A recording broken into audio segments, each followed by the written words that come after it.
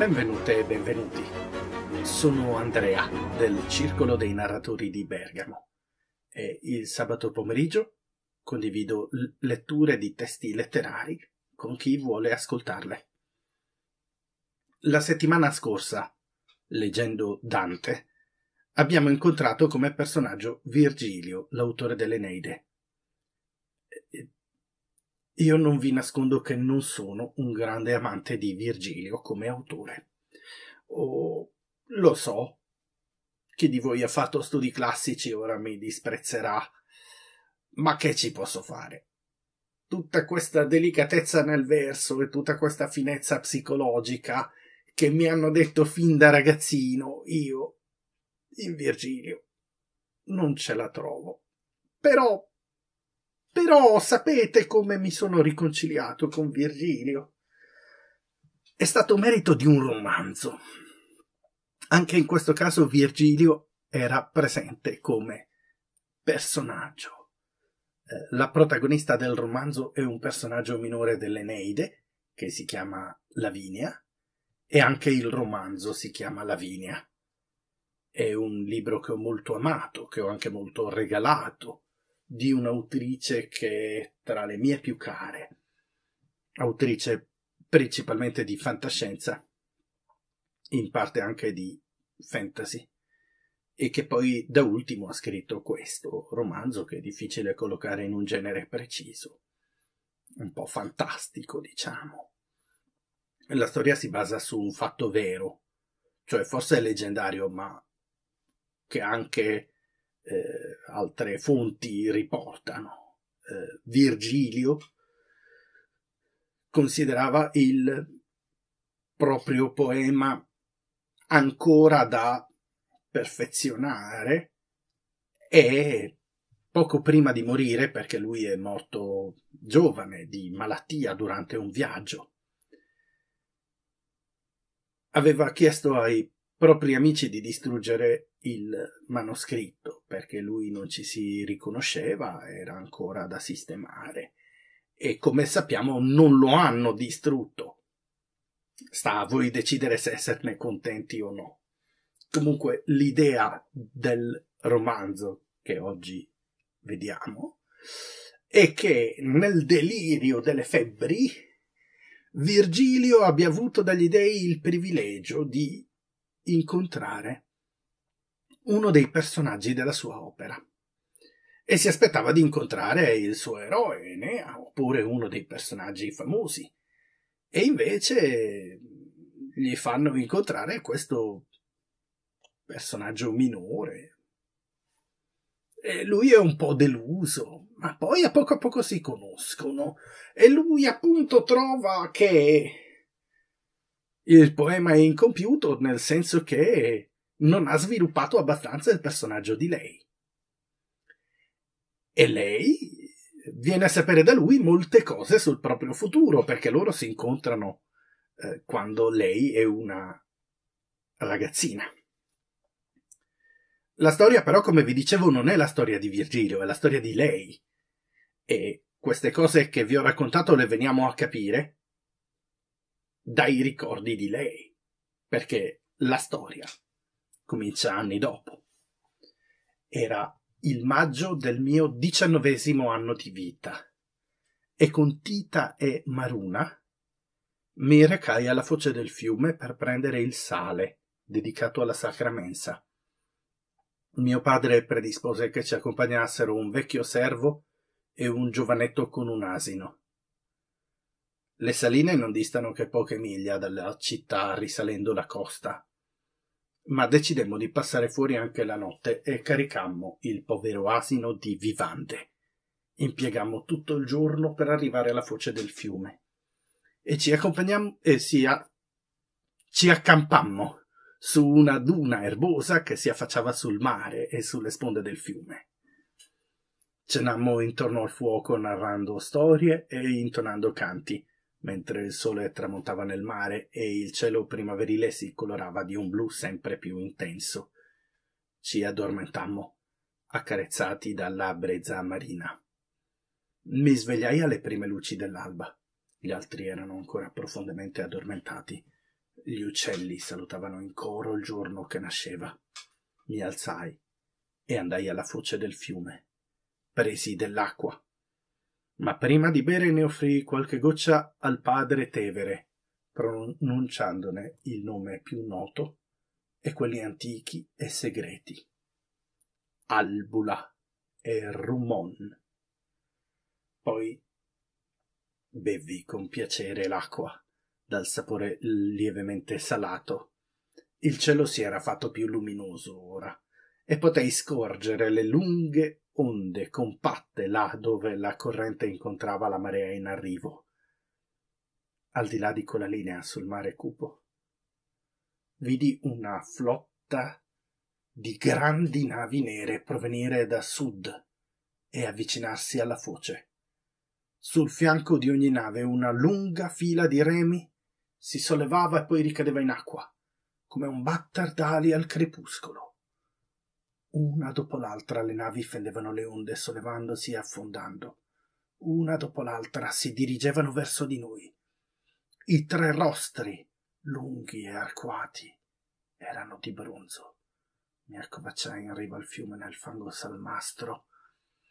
La prima nave mi superò calando su di me come un velo scuro avanzando regolarmente il ritmo pesante e sordo sull'acqua. I volti dei rematori erano in ombra, ma contro il cielo si stagliava la figura di un uomo in piedi, a poppa, che guardava avanti. Il suo volto è severo eppure schietto.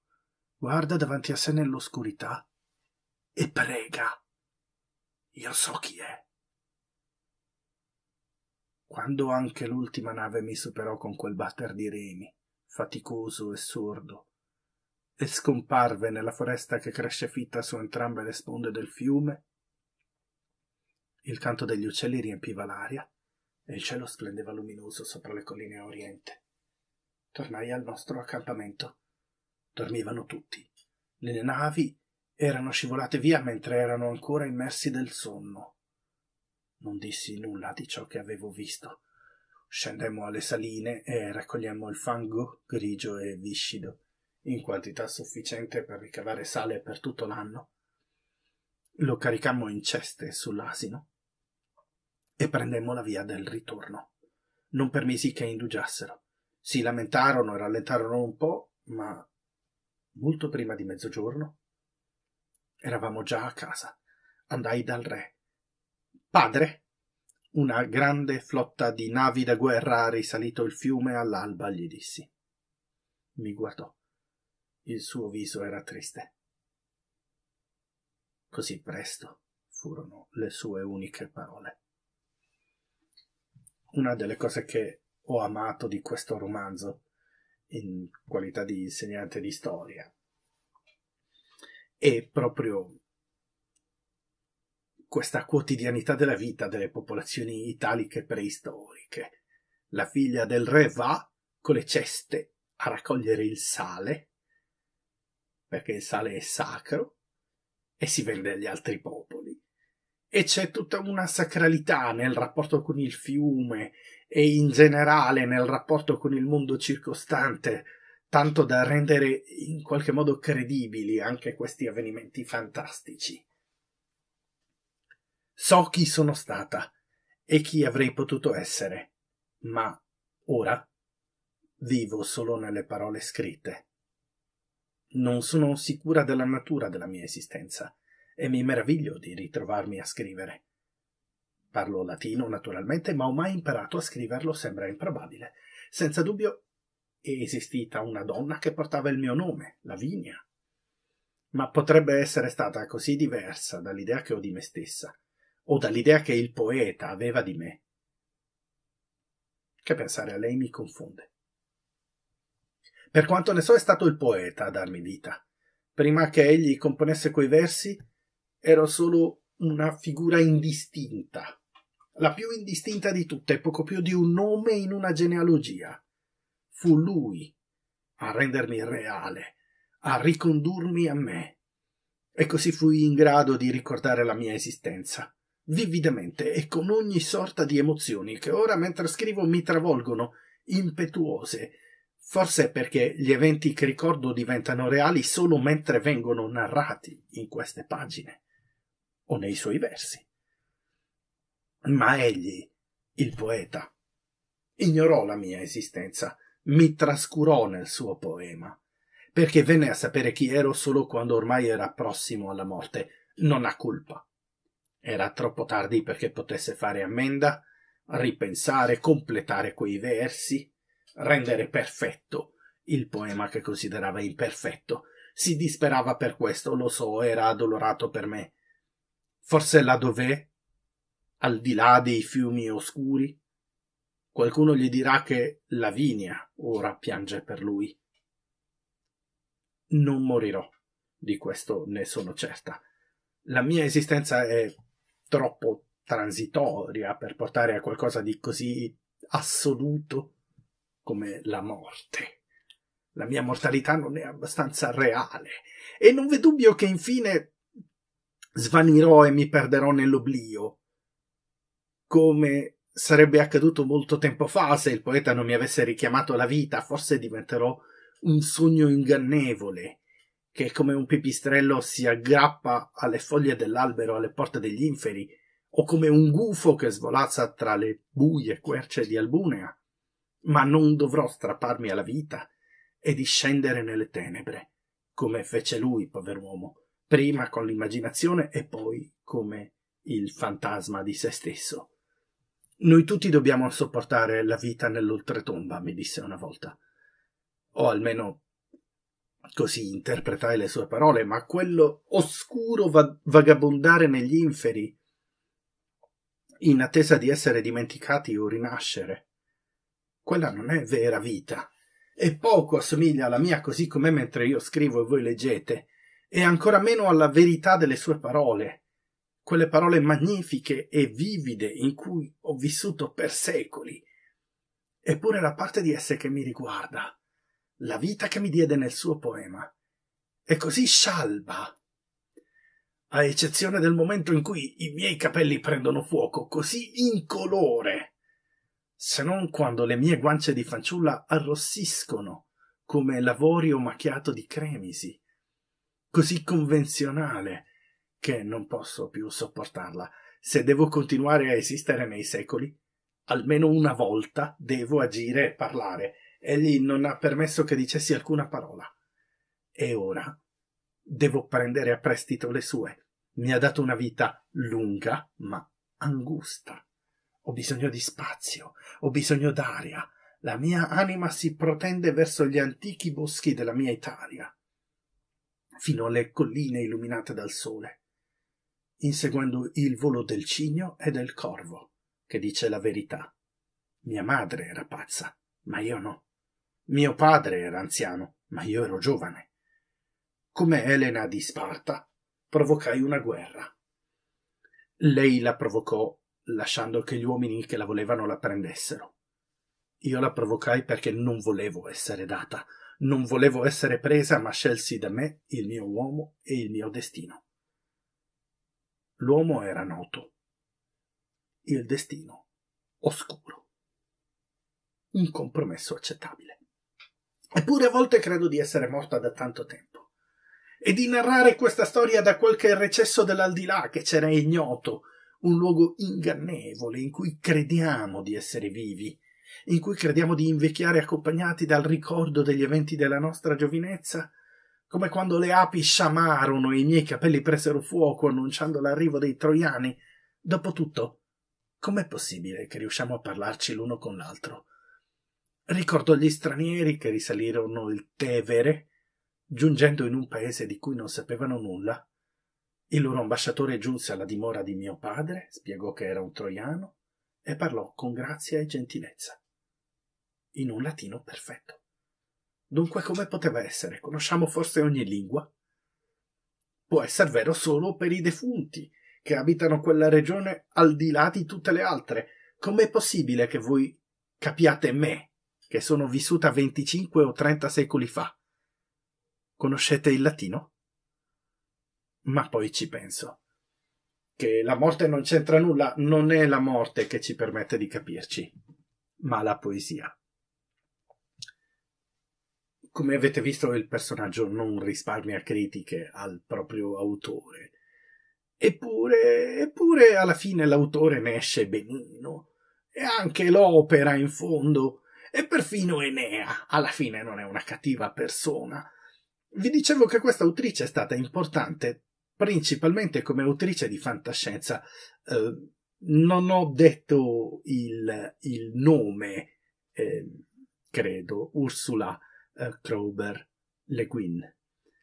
È un'autrice, è stata, adesso non c'è più da un paio d'anni, anarchica, femminista, e si lamentava eh, nei primi tempi, eh, dopo aver scritto questo libro, che poi tutti gli intervistatori le chiedevano del suo femminismo. E, e invece lei non considerava questo romanzo un'opera femminista. Parliamone. Scelsi da me il mio uomo e il mio destino. Questa è la, la lettura che, eh, di questo personaggio dall'autrice. Chiaramente una lettura moderna. L'unica scena dell'Eneide in cui Lavinia fa qualcosa, e infatti è l'unica che lei apprezza, come abbiamo sentito dire, fa qualcosa, dico, anziché subirla da altri personaggi, è quella in cui a un certo punto lei arrossisce, le scappa perfino qualche lacrima, ma la similitudine famosa è quella in cui lei arrossisce appunto come l'avorio macchiato di Cremisi. E arrossisce e le scappa qualche lacrima di fronte al eh, discorso della madre che eh, vuole darle per marito non vi racconto di preciso la storia, comunque la madre vuole darle per marito un certo turno e dice che se invece il re la dà a sposa a Enea, lei si suiciderà. Lei, la madre, minaccia di suicidarsi e Lavinia piange. E, e i commentatori moderni dicono in genere che piange perché è innamorata di Enea e non vuole turno. Quelli antichi dicono che piange per vergogna, perché le dispiace di scatenare una guerra. E, giustamente poi gli storici ci dicono attenzione agli anacronismi. È sbagliato dire riferirsi al primato del sentimento, che è tipico della nostra cultura, delle culture moderne, che non c'è in quelle preistoriche a cui appartiene Lavinia e certamente non appartiene all'epoca di Virgilio. Giusto, giusto, giusto, c'è qualcosa di politico nella scelta di questo padre, un re che, concedendo la figlia in sposa a Enea, uno straniero, allarga il proprio sistema di alleanze, introducendo nel giro un popolo straniero mentre Turno, che è già parente di sua moglie ed è per questo che sua moglie spinge per la sua candidatura, è già in teoria uno del suo giro. E la questione è stata studiata da antropologi che si sono occupati del, di, de, degli aspetti eh, sociali di questo matrimonio. E tuttavia vorrei dire, ok, non, non importano i suoi sentimenti, ma infatti la ragazza mica interviene nel dialogo. I suoi sentimenti non contano nell'affare del matrimonio, lei lo accetta, solo che le scappa da piangere.